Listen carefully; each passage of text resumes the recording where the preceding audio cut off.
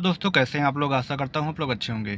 तो UP police भर्ती, जिसका अभी तक टेंडर जो है साइट पे कोई अपलोड नहीं किया गया किसी कंपनी को टेंडर मिला है कि नहीं मिला है टेंडर की बात करें तो टेंडर में अभी तक ये क्लियर नहीं हो रहा है कि टेंडर अभी तक किसी को कंपनी को मिला है या नहीं मिला है, क्योंकि अभी तक साइट पे कोई जो है अपडेट नहीं की गई है। हो सकता है साइट पे अपडेट ना भी करें और आप लोग का जो है नोटिफिकेशन आगे आ जाए और आप लोग को बस सीधा नोटिफिकेशन की ही जो है नोटिस मिले और आप लोग का फॉर्म और सबमिशन और जो भी है कैलेंडर वो जारी कर दिया जाए, लेकिन अभी तक की इसकी कोई जानकारी नहीं मिली है कि अभी इसका कोई भी अपडेट आया है।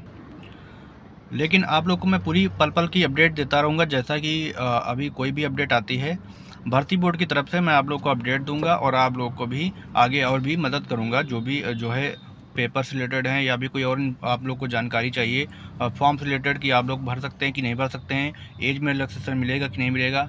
अभी तक की जो है कोई बात जो ऐसी खुल के नहीं आई है कि एज में रिलैक्सेशन दिया जाएगा। क्योंकि आप लोग को भी पता है कि भर्ती बोर्ड जब भी निकालता है, उसी जो है जुलाई मंथ से वो भर्ती काउंट करता है, जिस ईयर में भी निकालता है। मान चलिए अभी जो दो हज़ार तेईस चल रहा है, अभी भर्ती निकलेगी, लेकिन जुलाई से ही काउंट होगी आप लोग की।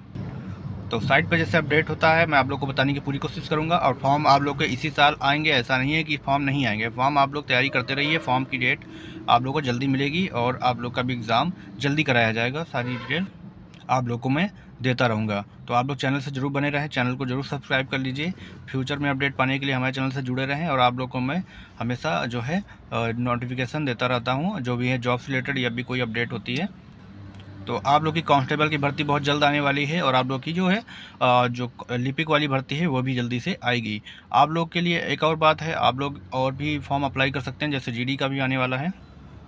तो उसका फॉर्म भी बहुत जल्दी अपडेट हो जाएगा तो आप लोग को मैं पूरी डिटेल बताने की कोशिश करूँगा।